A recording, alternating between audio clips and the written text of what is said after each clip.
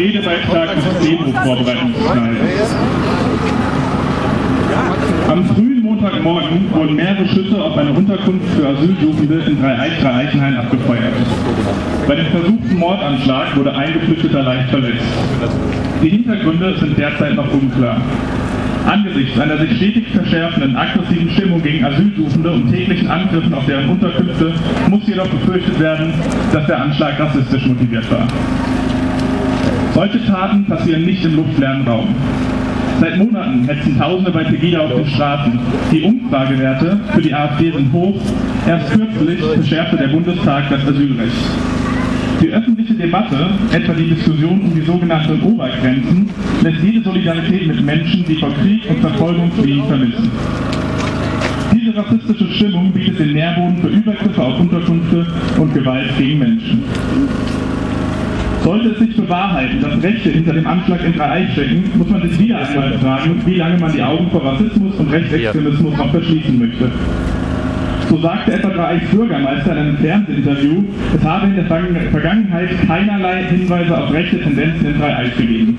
Es gebe, Zitat, aber sicherlich Bürgerinnen und Bürger, die verständlicherweise ihre Sorgen und Ängste artikulieren.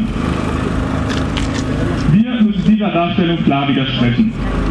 Im Jahre 2010 etwa wurde die für das SPD-Sommerfest aufgestellten Zelte mit Nazi-Parolen beschmiert. Mehrfach kam es auch zu rechten Graffitis an der Ricarda Hochschule, unter anderem in Form von Hakenkreuzen und Sprüchen wie Deutschland den Deutschen. Schülerinnen und Schüler dieses Gymnasiums berichteten in der Vergangenheit von Mitschülern, die im Unterricht Kleidungsstücke von Thor Steiner trugen, eine unter Neonazis beliebte Modemarke. Rechte Sticker finden sich überall im Stadtbild.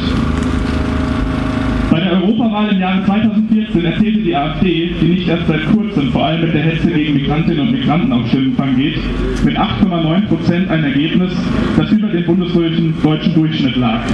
In einigen anderen Kommunen im Kreis Offenbach lag das Ergebnis sogar bei über 10 Prozent.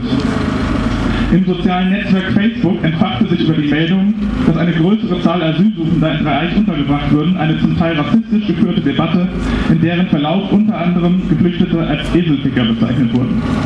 Und erst vorgestern wurden im benachbarten Neu-Isenburg am Rande einer Mahnwache gegen Rassismus von Dorftrotteln aus dem rechten Spektrum Feuerwerkskörper gezündet. Deshalb steht eines fest. Das Kleinreden von rechten Tendenzen und die Bagatellisierung von rassistischen Mobilisierungen gegen Asylsuchende als Sorgen und Ängste ist nicht Teil der Lösung, sondern Teil des Problems.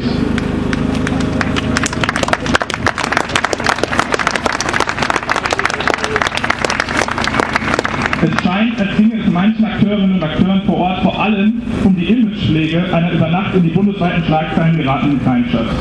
Eine kritische Auseinandersetzung mit eigenen rassistischen Potenzialen wird auf diese Weise umgangen. Keine Frage, Dreieich ist nicht Heidenau. Von einer organisierten Neonazi-Szene oder einer mehrheitlich feindlichen Stimmung gegenüber Asylsuchenden kann nicht die Rede sein. In den vergangenen Monaten wurde viel ehrenamtliche Arbeit zur Unterstützung von Asylsuchenden geleistet. Kleiderspenden wurden organisiert und Straflose veranstaltet. Verschiedene Initiativen wie das Netzwerk Flüchtlingshilfe Dreieich sorgten mit ihrem Engagement dafür, dass den Geflüchteten das Ankommen erleichtert wird. Dennoch handelt es sich beim Rassismus um ein gesamtgesellschaftliches Phänomen. Er ist kein Relikt aus alten Zeiten, dem nur ewig Westbrüche nacheifern. Er ist ein wesentliches Strukturelement dieser Gesellschaft.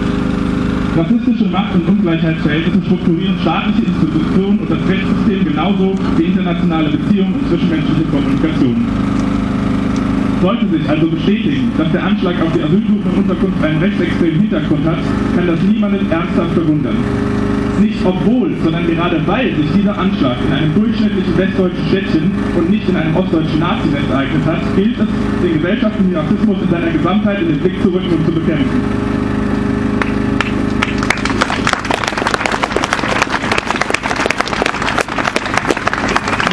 weil wir zum jetzigen Zeitpunkt wissen können, dass es sich um einen rechten Anschlag handelt, gehen wir heute auf die Straße, sondern weil wir uns in einem gesellschaftlichen Klima befinden, in dem solche Vermutungen traurigerweise angestellt werden müssen.